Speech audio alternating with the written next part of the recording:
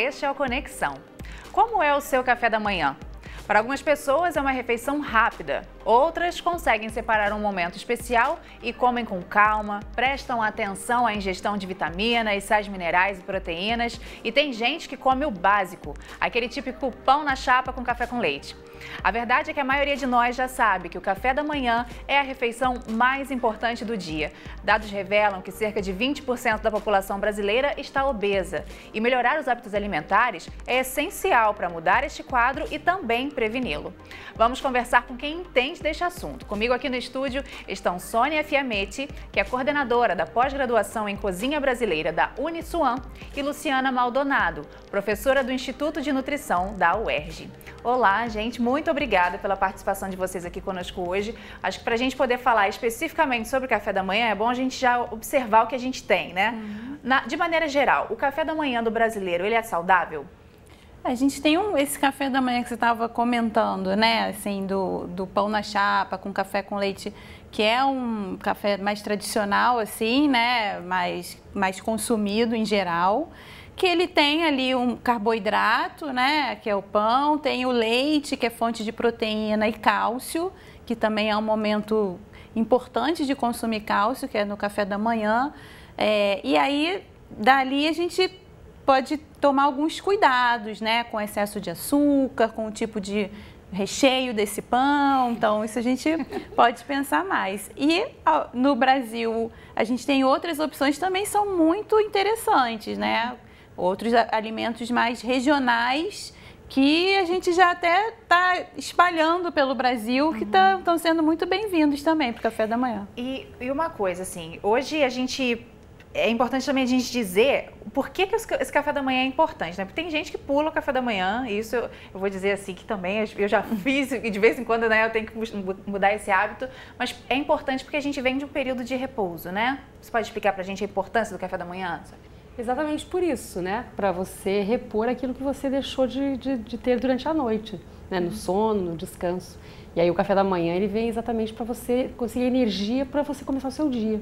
E aí quando a gente pula essa refeição, o que, que acontece aí com o corpo? Ele fica sem força? Porque tem gente que parece é. que nem é. sente, né, essa, essa, falta de alimento. É, o que acontece, a gente observa muito assim, pessoas que comem às vezes muito tarde da noite e aí amanhecem sem apetite, ou também porque estão com pressa e aí acabam não tendo tempo, né, nem para prestar atenção na fome, pula. O que a gente percebe é que quando pula o café da manhã, tende a dar um certo desequilíbrio né, na, no restante das refeições do dia, né, porque vai talvez vai comer mais no almoço, né, ou vai comer mais cedo, então dá um certo desequilíbrio.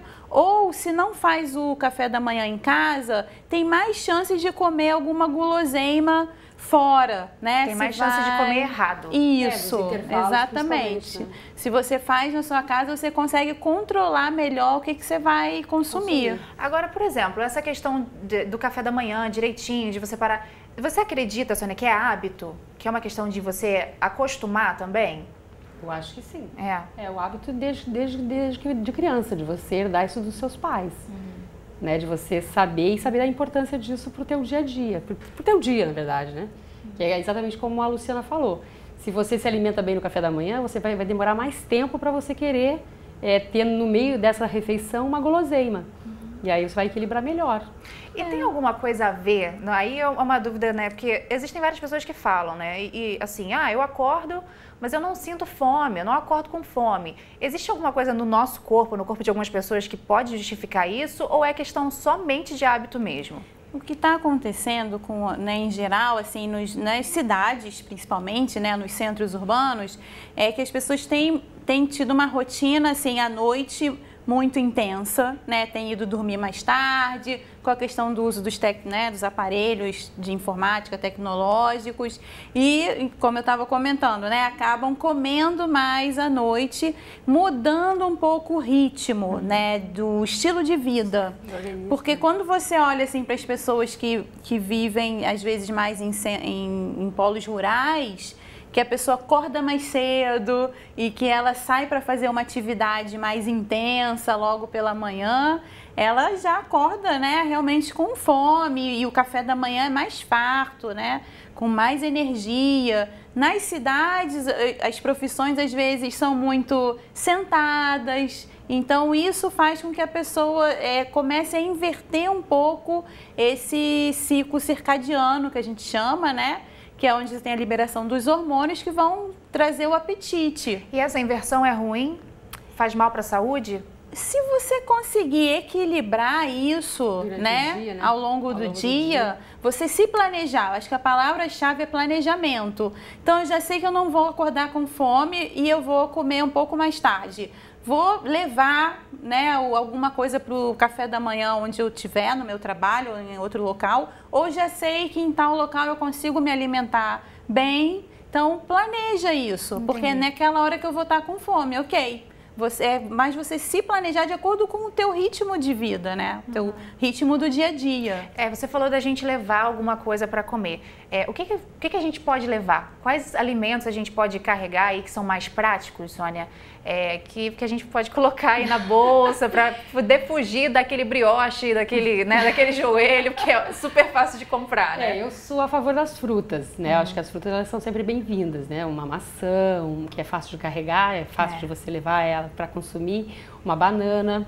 E aí tem as alternativas das barrinhas, né? A gente tem as barrinhas, por mais que elas tenham açúcar, mas elas têm bastante fibra. E elas, acho que elas ajudam bastante também isso. E para os é, pais, a gente tem. Ah, já, a gente já classificaria lá nos alimentos ultraprocessados. Então tem que tomar cuidado. É, já tem que ser uma barrinha. Né? né? Porque já é um alimento altamente processado pela indústria.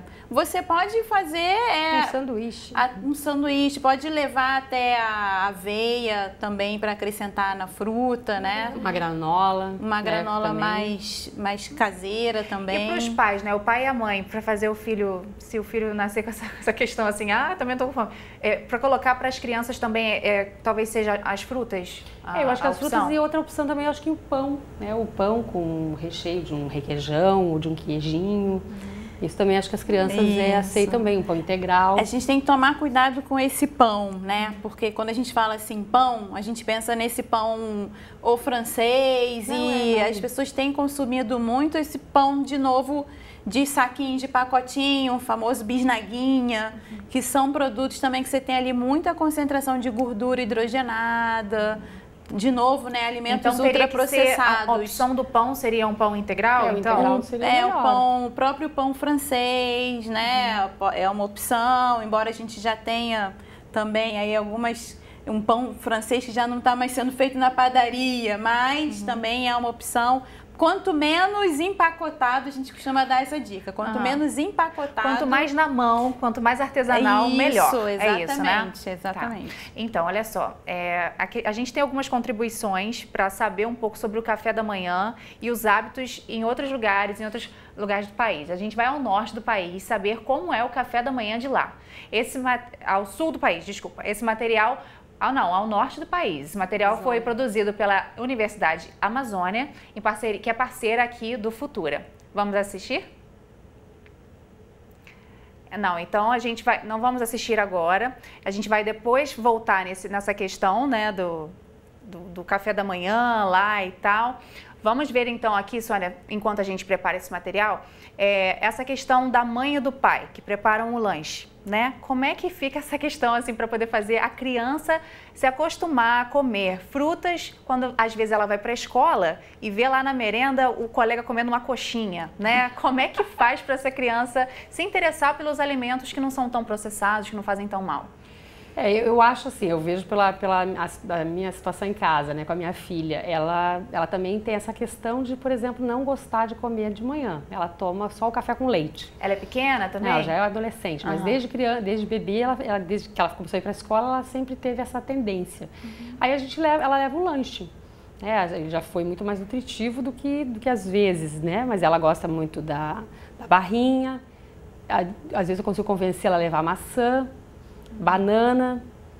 Acho que é o que eu consigo e fazer E também o hábito da mãe e do pai comendo direitinho, às vezes leva a criança também, leva, né? Ajuda, ajuda, ajuda muito. a criança ajuda totalmente. A muito. ver que aquilo ali faz bem, é, né, e tal. a gente brinca um pouco, assim, que a obesidade, principalmente infantil, começa na lista de compras, hum. né? Sim, porque quem, quem coloca os alimentos dentro de casa são os pais, é a família, a família. né? Então, essa ideia de pensar melhor no que, que vai colocar no armário, porque depois que está no armário, para dizer não é, fácil, é, mais é. difícil. É complicado, né? Então, o ideal é você deixar para comer, às vezes, algumas guloseimas na rua e não levar para dentro de casa. E tentar deixar dentro de casa mais disponível os alimentos mais saudáveis, é, né? Aí vai acostumar, né? É. Agora a gente vai conseguir ver o nosso material que foi produzido em parceria com a Universidade UNAM, Universidade da Amazônia. Vamos ver como que é o hábito do, do brasileiro por lá. É o que a senhora come no café da manhã? Eu tomo café com leite, o leite sem lactose, como frutas, como pão, é, com manteiga ou margarina. E uh, a minha base de alimentação da manhã é isso. Cafézinho, pão com leite, mamão. Uma, pão, bolacha, uma fruta. Café da manhã é essencial. Salame, queijo, polenta, é algo mais dessa natureza. Não uso muito pão, eu como mais torrada, bolacha. Frutas, cereais e o pão de todo dia. Tomo café da manhã e saio para fazer uma caminhada. A gente passou a noite toda né, em repouso para depois fazer a caminhada é preciso tomar um café da manhã bom primeiro. Cereais, leite, café e pão. Pão, queijo e presunto e café com leite e às vezes uma fruta. Varia muito, tem dias que come café com pão, café com tapioca, café com farinha, tudo vai, tudo é válido. Eu acho que é o principal, que é o que você vai ter força pro resto do dia. Geralmente tapioca, cuscuz, pão, normalmente com frutas dois ovos e uma fatia de pão integral. Geralmente no café da manhã é frutas, é, geralmente às vezes vem é, tapioca e suco. Meu café é simples, café com leite, uma torrada com manteiga. Então, a gente viu aí, eu achei coisas interessantes nesse uhum. material. Achei interessante as pessoas saberem essa questão de, ah, você tem que acordar e tem que comer para você ter força para o resto do dia. Uhum. Ótimo, todo mundo saber disso. E o que me chamou muita atenção foram alguns ingredientes que não são comuns para a gente, por exemplo, para mim que vivo no Rio de Janeiro. Vamos falar um pouco sobre essa questão regional? A gente tem um país rico quando a gente fala de frutas e alimentos regionais, né? Você pode falar um pouco sobre isso para a gente, Sônia? Tem que aproveitar desses ingredientes? Tem, tem que aproveitar. E aí, além, aí nisso entra, por exemplo, toda a, a mistura da cozinha brasileira, né? De, de você ter, por exemplo, lá na, na, região norte do Brasil, eles consomem, como eles disseram ali, muita tapioca, né? muita mandioca, que é a macaxeira. É, outra coisa bem interessante em Manaus, que tem o x-caboclim, uhum. né, que é um sanduíche feito à base de pão e tucumã, que é uma palmeira, uma fruta oleaginosa. Uhum e faz parte dessas, do, do café da manhã deles. Quando a gente vem e para o centro-oeste do Brasil, você vai encontrar outras situações, por exemplo, é, o sertanejo, né, que ele, o pantaneiro, que ele vai cedo para a lavoura. Quando é lá por volta de entre 5 e 9 horas da manhã, ele come uma comida chamada quebra-torto, que na verdade foram aquelas sobras do dia anterior que acrescidas de farinha de mandioca ou de mandioca é servido para ele lá na lavoura, porque ele já acordou muito cedo. Ah, entendi. Olha só, a gente tem imagens do que a gente está falando, né? Aí essa imagem que você está vendo aí é o X caboclinha. Ele, ele é feito com é, raspas de tucumã. tucumã. Tucumã é uma fruta. É uma fruta típica da, da, da, da região do Amaz da Amazônia. Uhum. Né, e muito consumida em Manaus, principalmente. E aí eles comem com pão, né? Com pão. Alguns acrescentam além do pão, eles acrescentam é que queijo. Uhum. Aí vem outras variações, né? Mas aí já são as invenções, né? É, Porque né? é bem. É, é um, o tradicional é, um bem caboclo, né? aí agora a gente vai passar para algumas cidades do Nordeste, onde é comum a tapioca com queijo coalho. Isso até aqui no Rio a gente também já está é importando, né? Olha a imagem aí. A, a herança veio trazida já, já né? Espalhou é, espalhou pelo Brasil, né? Muito até curiosamente em função dessa corrida do glúten, que ah. às vezes as pessoas começaram a associar isso com uma alimentação melhor, né? Evitar o glúten, não, não necessariamente é verdade, é necessário, né?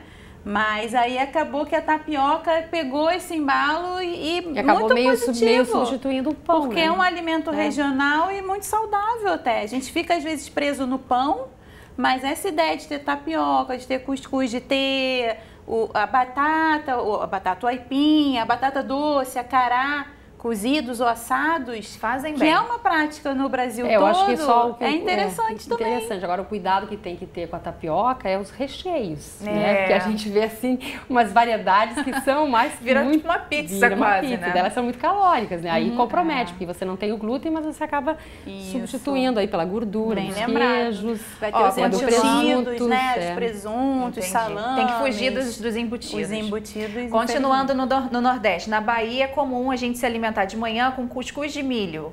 Faz Isso. bem? É saudável? É saudável. É ótimo. É saudável. Muito. É, é uma manteiguinha de garrafa, carboidrato, né? Que aí... né? Tem fibras, a farinha, farinha, de milho, milho. basicamente, né?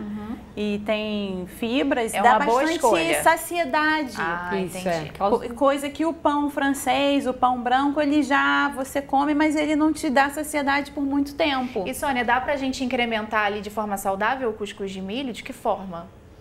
Olha, na verdade, assim, na grande maioria, o que eles fazem, o costume do nordestino é colocar manteiga é, e aí eles comem isso com café.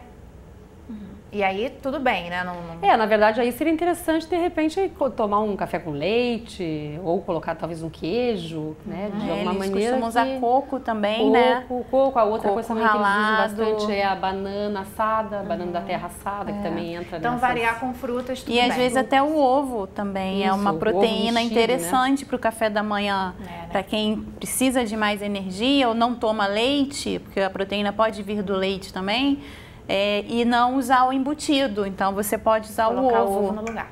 Agora, vamos descer um pouquinho para Minas. Pão de queijo, que também virou tipo a história da tapioca, já é nacional, né? A gente tem pão É. de queijo em todo lugar, mas o pão de queijo de Minas é mais gostoso, né, gente? Vamos combinar, É. né? Pão de queijo é saudável, tem que ser dosado.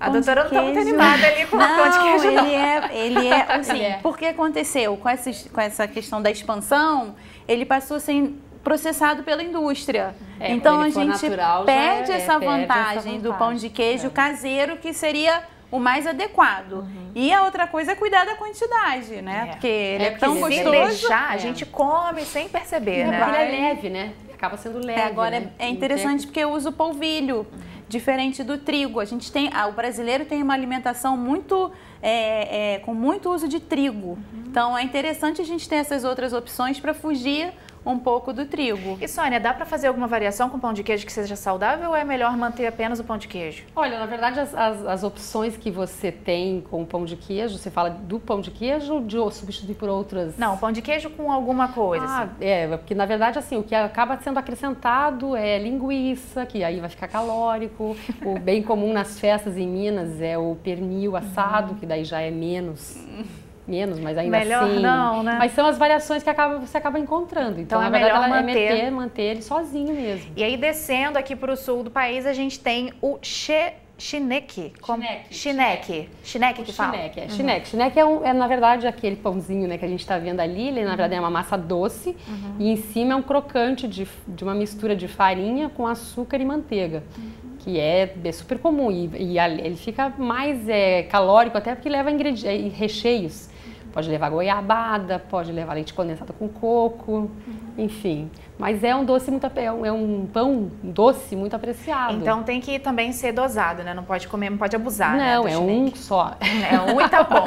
É um só e chega, né? A gente tem umas informações. eh, Será que a gente consegue mostrar o outro, o outro material agora do sul do país? Para poder a gente ver o hábito do, do brasileiro lá no sul do país, como é que eles estão se alimentando no café da manhã?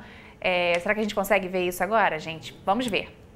O que você costuma comer no café da manhã? Então, no café da manhã eu costumo comer pão de queijo, pizza, coxinha, então não é muita coisa saudável. Na verdade, eu nunca tive o hábito de comer no café da manhã. É uma coisa que minha mãe briga comigo sempre, mas eu realmente não consigo comer. Pão com doce, com requeijão, o que tiver. Ou fruta, qualquer coisa. Eu costumo tomar um suco verde, né? Daí eu dou um espaço assim de uma hora, duas e venho aqui na cantina e tomo um café com leite e um pão com manteiga, né? E esse hábito vem da infância ou você adquiriu depois? Então eu acho que eu adquiri, na verdade, aqui na faculdade, porque eu não tomo café da manhã em casa, então eu tomo café da manhã aqui. Então quando eu chego eu já compro isso e tipo, virou um hábito mesmo. Vem desde a infância, desde pequena eu nunca consegui comer no café da manhã. Acho que um pouco dos dois, porque na infância eu não tinha muito costume de comer fruta, mas eu aprendi bastante crescendo porque eu sentia que meu corpo precisa disso. E você aproveita a lanchonete da faculdade para tomar café? Sim, porque no caso eu não teria pizza de manhã em casa, né? Então eu acho que sim. Quando acorda não dá fome, né? Mas quando chega ali 9 horas, 9 e pouquinho, sempre dá aquela fome. Então sempre vem aqui comer alguma coisa. Quando eu estou atrasada, eu não tomo suco verde e eu venho comer aqui na universidade. Gente, então, eu vi que na hora que ela falou que ela come pizza de manhã, as duas aqui ó, fizeram um olho desse tamanho, pizza é. e coxinha de manhã. É. Elas são jovens, uhum. né? Estão na faculdade, uhum. estão numa correria danada, que essa uhum. época é. Então, pode responder essa questão, é. mas não está isso, saudável, né? É por isso que a gente fala muito dessa ação das cantinas escolares, mesmo pensando nas universidades, de você ter cantinas que tenham opções mais equilibradas, né, de cuidar é. desse, desse ambiente alimentar. Porque de fato as pessoas estão cozinhando menos em casa. A gente também tem estimulado muito isso, né? Mas essa é uma questão atual. Então, a gente precisa ter espaços que promovam essa alimentação saudável, que as pessoas estejam mais atentas para isso, né? E facilite quem quem quer cuidar né, da sua alimentação que tem essa possibilidade. É, já que Mas... ela faz em casa, que ela chega lá, pelo menos ela encontre, Exatamente, é, por exemplo, menos frituras, né? né? Que tem alguns Uma colégios vitamina de frutas, isso. né? Um, alguma coisa que o próprio, né, se for o caso do pão, porque aí né, você vai estar tá fugindo lá da, tanto da, da fritura... Da, da, coxinha e da pizza, né? gente, quando eu ouvi essa menina falando comer coxinha de manhã, eu falei, gente, as nutricionistas vão achar esquisito. É por Qual isso, seria uma opção? Já tá amanhã já quase um almoço, né? Provavelmente lá nove e meia, dez horas, já, aí já tá com fome mesmo, é, né? Como ela disse que ela não toma café de manhã em casa, que ela vai é. comer lá, chega é. nove, nove e pouco, é. né? Nas cantinas, na sua opinião, quais seriam umas opções assim que seriam saudáveis, boas para ficarem ali à disposição dos estudantes? Bom, eu acho que o, o pão de queijo, né, ele é, é, aquela questão, por exemplo, ele é calórico, mas tem a questão da quantidade, né? Se você não comer muito, ele não vai te prejudicar. É, as frutas? As frutas, é, as frutas, acho que os sucos de frutas naturais. Vitaminas. Vitaminas, uhum. né? O... o... próprio, a gente não pensa muito nesse, né, nesses é, tubérculos que a gente fala, né, cozidos, mas são opções que você pode ter, né? O, a espiga de milho uhum. cozida na cantina é uma opção. É, tem que fazer uma, toda uma, uma, uma é... análise do que é vendido mesmo, né? Porque é muito difícil encontrar essas coisas. Tem que rever. Agora, Sônia, você é da pós-graduação de cozinha brasileira, né? Qual que é o público-alvo? Quem que esses estudantes estu estão lá, eles estão buscando? Eles conseguem ver que na, dentro da cozinha brasileira existem muitas possibilidades e por isso buscam especialização? Sim, exatamente. É, é, na verdade, assim, a gente tem alunos que são professores de, de, outra, de outra instituição e estão buscando então uma, uma pós. E tem pessoas que trabalham também em restaurantes de cozinha brasileira. Então, na verdade, tem, trazendo que hoje a gente tem uma cozinha brasileira onde a gente usa os nossos ingredientes utilizando técnicas mais modernas. Então você valoriza essa cozinha. Uhum. E essa é a proposta da nossa pós-graduação. Entendi. E você trouxe pra gente é, esse livro aqui, né? Alimentos Regionais. Eu gostaria Isso. que a gente falasse, já que a gente está falando sobre cozinha brasileira, né? É. É, esse livro trata do quê? A objetivo, e foi publicado pelo Ministério da Saúde, justamente com o objetivo de mostrar a diversidade brasileira que a gente tem de alimentos e valorizar isso, porque alguns alimentos acabam entrando em extinção, que a gente fala, né? Existe uma extinção alimentar, porque se as pessoas deixam de consumir, os de produtores deixam também de plantar. Uhum. Então a ideia é que a gente valorize é, é toda essa nossa biodiversidade, né? Os nossos biomas são tão ricos no Brasil todo, a gente vê esses contrastes de vegetação, de clima, e, e isso para a nossa alimentação é riquíssimo. Então a ideia é que a gente valorize esses alimentos, que às vezes a nossa avó conhecia e a, e gente, a gente, já nem conhece. conhece mais. E eu queria que a gente falasse rapidamente uma coisa que você estava me dizendo sobre os alimentos processados a gente precisa fugir desses alimentos processados. A gente já está chegando isso. no finalzinho do programa, mas eu acho uhum. importante a gente falar rapidamente sobre isso. Isso, Pode explicar a ideia é valorizar os alimentos in natura ou minimamente processados, que são os alimentos, né, fruta, legume, verdura, as assim, o alimento feito em, que é feito por nós, né? O alimento processado é o alimento que é feito pela indústria. E é desses que a gente precisa se afastar, que é os refrigerantes, os, as comidas prontas, uhum. né? Que é só a gente esquentar. Disso a gente vira e fala, não, hoje Os embutidos, não, né? tá os produtos panificados, tudo isso a gente deve evitar. Muito obrigada pela participação de vocês aqui. Infelizmente, nosso tempo já está terminando, mas a gente conseguiu dar o recado de que alimentos processados, a gente precisa buscar realmente tudo que for mais natural para garantir a nossa alimentação mais saudável. Muito obrigada pela sua audiência. Se você quiser rever esta ou outras é, entrevistas, basta acessar alfuturaplay.org. Um abraço.